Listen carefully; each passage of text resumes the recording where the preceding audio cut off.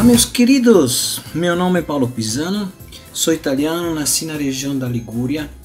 Eu sou chefe de cozinha, mas eu brinco de dizer que eu sou chefe sem cozinha. É, sim, porque na verdade eu não tenho cozinha de restaurante, eu só tenho a cozinha da minha casa. Hoje, aqui na coluna Gastronarquia, eu quero falar com vocês sobre um cara muito popular, Leonardo da Vinci. Sim, pois esse ano fazem 500 anos da morte do Leonardo e estamos vendo aí na televisão, na internet, no meio de comunicação, no geral, uma imagem à vida e a obra desse gênio renascentista. Todo mundo sabe que Leonardo foi um grande pintor, desenhista, escultor, engenheiro, inventor, mas pouca gente sabe que Leonardo também sabia muito de gastronomia. É disso que eu queria falar hoje para vocês, trazendo algumas informações. Vocês sabiam que o Leonardo da Vinci parece que ele tinha um restaurante em Firenze junto com o Botticelli, outro importante né, é, pintor renascentista. O tal do restaurante se chamava né, Le Tres Rane, as três rãs. Muito difícil para mim falar essa palavra. Imagino eu, porque não temos relatos sobre isso, mas imagino eu que é, nesse, nesse restaurante lá se serviam pratos é, típicos da culinária de Firenze, fiorentina, mas com um toque gourmet. Sendo que o próprio Leonardo era integrante da aristocracia aristocracia de Firenze. Sendo assim, eu acho bem provável é, que os pratos que ele apresentava no restaurante é, tivessem um toque, né, um toque especial.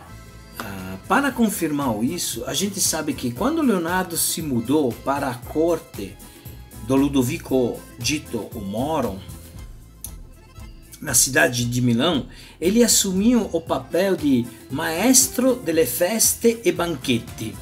O que quer dizer isso?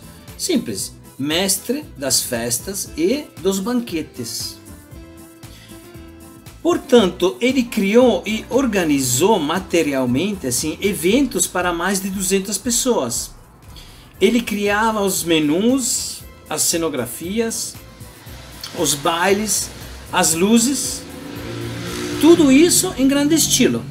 Tudo muito sofisticado na concepção e na realização. Ele inventou coisas que serviram de referência para todos, para todos os banquetes renascentistas, muitas das quais chegaram até nós, tanto na gastronomia quanto nas artes cênicas. Vou citar um exemplo bem simples, porém emblemático da genialidade de Leonardo. O hábito de jogar arroz branco nos esposos na saída da igreja. Mas a pergunta que não quer calar é a seguinte: o Leonardo nasceu sabendo de tudo ou ele aprendeu como todo mundo?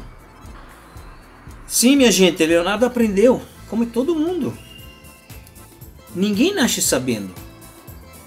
Ele aprendeu muita, muita coisa mesmo quando os bizantinos perderam Bizâncio pelo exército do Império Otomano no 1453.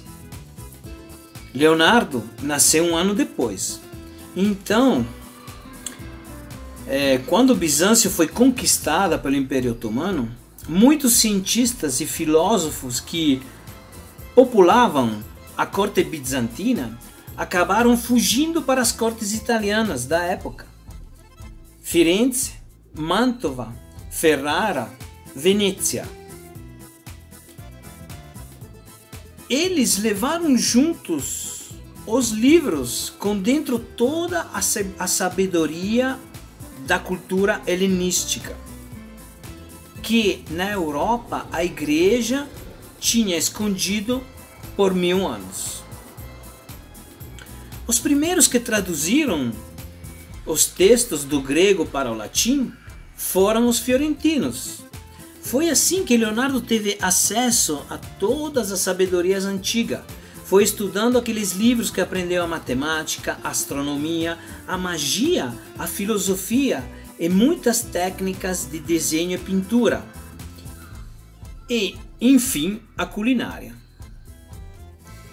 É isso, minha gente. Agora vocês sabem mais um aspecto importante da vida de Leonardo da Vinci, que não é muito divulgado.